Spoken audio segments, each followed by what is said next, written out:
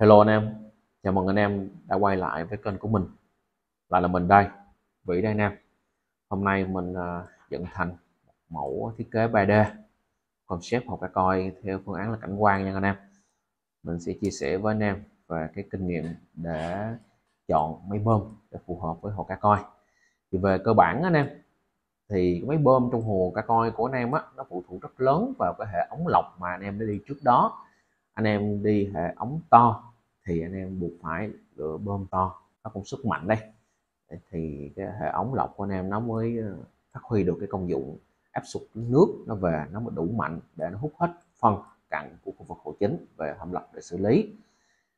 Thì thường cái ờ, công suất bơm mà anh em hay lựa chọn á là nó sẽ rơi vào tối thiểu nha anh em. Tối thiểu là sẽ gấp tầm khoảng 3 đến 4 lần tổng cái khối lượng nước trong hồ của anh em, bao gồm cả hồ chính và hồ lọc nha gấp tầm 3 đến 4 lần. Còn nếu mà đẹp á, thì gấp phải tầm khoảng cỡ 6 đến 7 lần trở lên thì nước trong hồ của anh em nó mới đẹp được.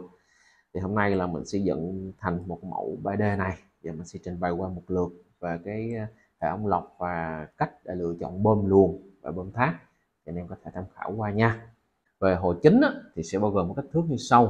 Hồ chính là có chiều ờ, chiều dài nè anh em. Đây chiều dài từ đây qua đây ở đây vào tầm khoảng cỡ 3 mét nha.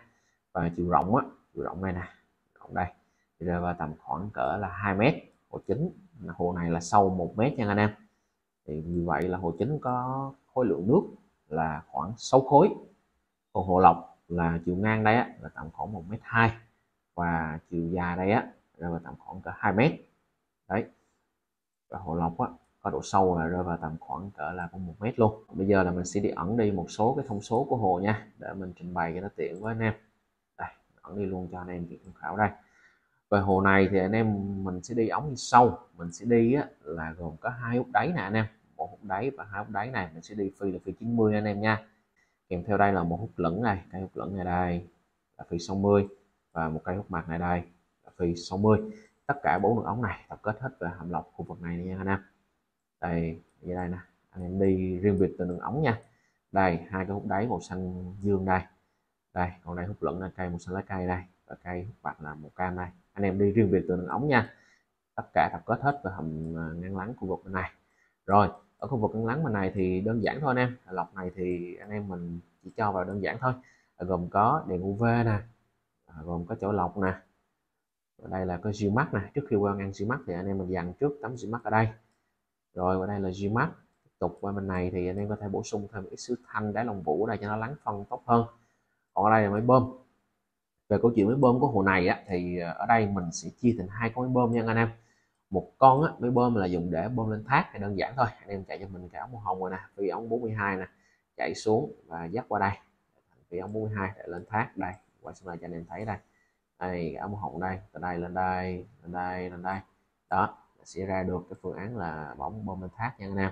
Rồi còn một con bơm còn lại nữa là cái ống màu trắng này nè. Màu trắng này tự động bơm ra luôn luôn. Thì à, cái ống lên thác thì anh em có thể lựa chọn một con máy bơm tầm khoảng 12 khối tới 18 khối là đẹp nha. Đó là một cái gợi ý, anh em có thể lựa chọn. Và đây là anh em mình sẽ sử dụng, đây là mình sẽ sử dụng một con BG 35 khối trên giờ để tải đường luồng này ra. Nếu mà anh em có điều kiện thì dùng con BG 45 hoặc BG 50 cũng tốt nha. BG 50 nó có công suất chạy cũng sẽ ổn hơn. Tại vì có cây hút lẫn đó nè, hút lẫn đó nè, thì nó tải lực bơm cần phải nhiều đây, từ ngưỡng bơm đi ra, đi xuống đây. Ở đây mình sẽ dựng lên một trụ luồng thổi bên này. Và trụ luồng thổi bên này. Bên này thổi qua và bên này thổi lại. Luồng này anh em chạy cho mình cái ống 60 nha, để lực luồng ra tốt.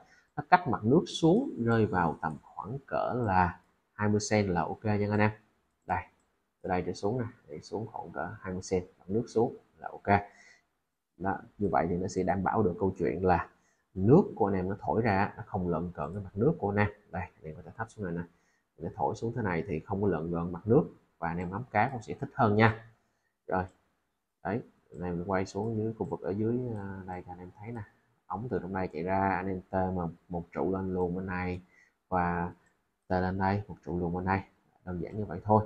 Ra được hệ thống đường ống bơm của cái coi. Thì đấy tóm tổng quan ở đây. Nếu anh em muốn hệ cái coi của anh em chạy vừa phải thì anh em có thể lựa chọn cái công suất gấp tầm khoảng cỡ là 6 đến 7 lần. Còn nếu muốn đẹp hơn thì anh em có thể gấp nhiều lần hơn. Thậm chí có hồ cá coi của các anh khách nhà mình mà nuôi cá nhật á nó cho ăn nhiều cái lượng phân thải này nhiều á nó còn một áp suất lực bơm để hút mạnh á, thì anh em có thể dùng cái lực bơm mạnh hơn. Thậm chí có hồ rơi vào tầm khoảng hơn 10 12 lần lận. Còn nếu tối thiểu nha anh em phải đảm bảo tối thiểu nó phải gấp tầm khoảng cỡ 3 lần nha anh em còn nếu mà nhỏ hơn nữa thì mình nghĩ là cái lực bơm rất là yếu đó như vậy là sẽ khó hút được các phân cản trong hồ. Thì đây là phần cảnh quan của cái mẫu đề co này của mình. Anh em có thể tham khảo qua nha. Thì đó là những chia sẻ của mình xoay quanh cái câu chuyện là chọn bơm và cũng như là phân bố cái hệ luồng chạy nước trong hồ. Anh em có thể tham khảo qua. Với cái mẫu này anh em có cần hỏi thêm vấn đề gì nữa thì anh em cứ comment bên dưới nha. Mình sẽ lên video trả lời chi tiết cho anh em cảm ơn anh em đã quan tâm theo dõi. Xin chào, tạm biệt và hẹn gặp lại.